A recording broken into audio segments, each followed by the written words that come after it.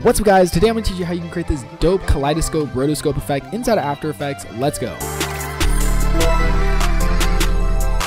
Shout out to Diamond Visuals. This effect was inspired by the Georgiana wok sauce video. Diamond crushed it again on this one, and I honestly think it's really cool. This actually reminds me of the ski mask Catch Me Outside video by Cole Bennett, and he did this like really crazy, like laser trippy effect. I think this is a really cool like recreation of that, and also just in a more like clean, minimalist uh, style of the effect. So now I'm inside of After Effects. I have some stock footage loaded up. I have some footage of somebody walking just like this, and then I also have a shot of a city. I download these clips for free on Pexels. By the way, people always ask like, oh, how do I uh, test or like just practice on, on music video footage? You can actually go to pexels.com uh, it's a free website, free stock website. You can download all sorts of free footage. Really dope. I really recommend it. First thing you are going to do is you are going to rotoscope. Now, if you don't know how to rotoscope, we do have a tutorial linked right here. It's very, very simple. I mean, you just click on the roto brush icon right here. You double click this and you color over your subject. I already rotoscoped my subject just to save time, but if you want to check out that video, it's linked right here. It's a really easy tutorial. Recommend it. Next up, what we're going to do is we're going to load up our city clip. Now, there's two effects that you want to apply. First is a warp stabilizer. And the reason being so is because this is the effect that's going to create like the very uh, warpy, trippy-ish effect. Now, once you apply warp stabilizer and click analyze, it's going to give you two results. First up, it's going to give you the smooth motion result. Uh, now, if you have a really good clip, honestly, this one might work. But if you want a more trippy result, you can go here to result, hit the drop down smooth motion and click no motion. And this way you'll get this really, really trippy, like, I don't know, After Effects is trying to like stabilize the entire shot, even though it's moving.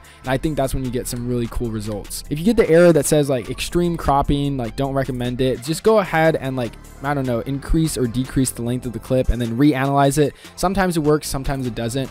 After that, what you're gonna do is you're gonna go to effects again and you're gonna search for mirror. And we're gonna apply this twice actually, or you can just hit command D on the effect. But first thing we're gonna do is we're gonna click on the first mirror effect and then we're going to go to the reflection center and drag that all the way to the center by dragging the X coordinate. So now I'm gonna drag my playhead to the very beginning of the clip right here. I'm going to hit the keyframe icon on reflection center. Very, very important. Now you're just gonna go ahead and hit the drop down on that clip and then just make sure you open up the drop down for mirror. You should see the keyframe icon and go to the very end of the clip now and you're just going to adjust that center all the way back to the uh, end or just like the original uh, position of it. Now if you play it out you see we get this weird like kaleidoscope effect. Now what we're going to do is we're going to do the exact same thing for the other mirror and this time we're actually going to adjust the reflection angle. So I'm actually set the reflection angle to 90. Maybe if you do it at like a diagonal one you can also get some cool effects.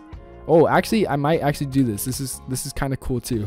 and honestly, you see how this is kind of playing out. You can really just go ahead and duplicate this mirror as many times as you want. If I add a third mirror, I can do the exact same thing as well. Maybe I'll do the angle like this other way. And yeah, now we're getting a really crazy like kaleidoscope looking effect. But yeah, honestly, just mess around with it, have fun with it. Now I'm going to turn the visibility back on of my top layer with the, uh, the rotoscope shoes. And ta-da, there you pretty much have it, a baseline of the effect. But as you know, no effect is done on 11% tutorial without extra effects. So what I'm to do is I'm actually to go right here. I'm to hit Command Shift D to split it. And then on this last, wait, so what I'm to do is I'm to select this top clip with the, the rotoscope feet and then, so what I'm to do is I'm to so what I'm going to do is I'm going to select this top clip with the rotoscope walking clip and I'm going to hit Command Shift D to split the layer.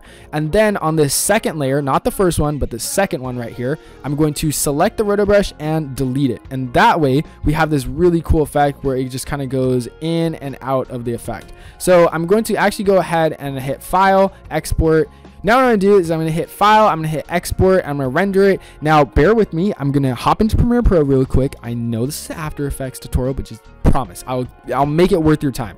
Inside of Premiere Pro right here, I'm gonna go here so now we're inside of Premiere Pro right here. I have my clip loaded up. This is the finished final effect. And I also brought in the music track from the Georgiana music video. Now what I'm gonna do is I'm gonna add some camera shakes to spice it up, but I'm not gonna do it the simple, boring, old way. I'm actually gonna go over here to window. I'm gonna hit extensions. I'm gonna hit AutoEdit, which is a new plugin that we're developing. And the reason why I'm doing all this and going to Premiere Pro is because it actually has this really cool feature where you can actually go ahead and upload the music track right here. And the reason I'm doing all this and going to Premiere Pro is because it actually has this really cool feature feature where you can go ahead and upload the music track right here. And then you can hit this auto sequence button and my hands are off the keyboard. Watch.